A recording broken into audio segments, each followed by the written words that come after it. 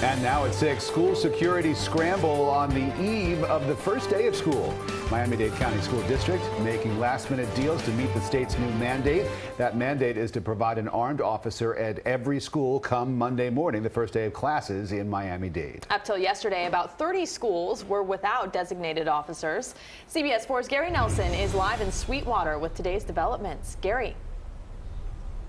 Well, that number has dwindled considerably since yesterday as uh, the Miami-Dade school superintendent has worked hard to make sure there is an officer in every school come Monday. Sweetwater, the tiny town of Sweetwater, just today kicking in five cops for the effort.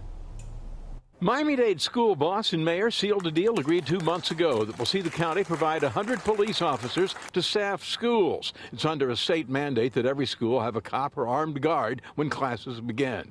We did this because we have a duty and a moral obligation to protect our children. Superintendent Alberto Carvalho has worked months making deals with cities to provide cops to meet the new state law. It's come down to a scramble. Some 20 cities will provide officers to schools. Doral police agreeing to staff 11, part of a cobbling together of a cavalry to the rescue.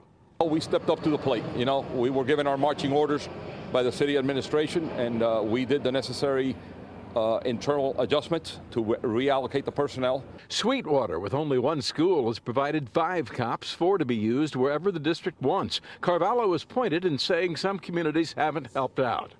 We will also continue to appeal to those city leaders that so far have not elevated this priority as the maximum priority of our community. The school system will have to draw on reserves. Just like teachers, we have substitute pools for police officers. Uh, we were hoping not to use it. That means some school police detectives will have to get in uniform and go to schools Monday. Miami Dade students will not be unprotected. We are 100% confident uh, that we will go into Monday with every single school covered. And as Carvalho illustrated Friday, say cheese. Every visitor to schools will have to be issued a photo ID. Every faculty member, middle school, and high school student will wear a photo ID, and 15,000 security cameras will be monitored in real time at schools across the district.